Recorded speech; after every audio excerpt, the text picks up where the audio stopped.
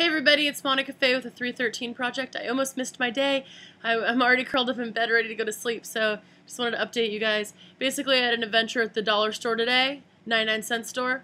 Haven't been there and since I was a kid. I just remember it being cheap plastic crap and charity ass you know, cosmetics and all types of weird lotions that smelled nasty like melting plastic.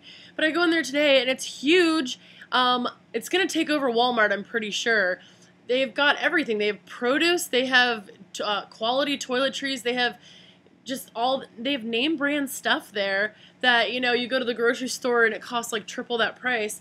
And they even have lingerie. I don't know if I'm brave enough to conquer dollar store lingerie. Um, I am highly suspicious of the material. Um, question Would you ever wear dollar store lingerie on a date? I don't know. Would you admit to it if someone com complimented you on it? Would you say, oh yeah, I got these at the 99 cent store. Do you like them?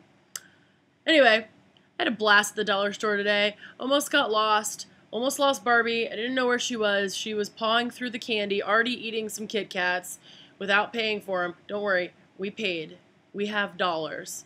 Um, I don't know. It was definitely eye opening, and, and I, I don't know how dollar stores are in the rest of the country because I haven't been to one in a long time, but I think it's pretty great that they're they're selling produce now at groceries uh, in the grocery section, and um, so there's no excuse.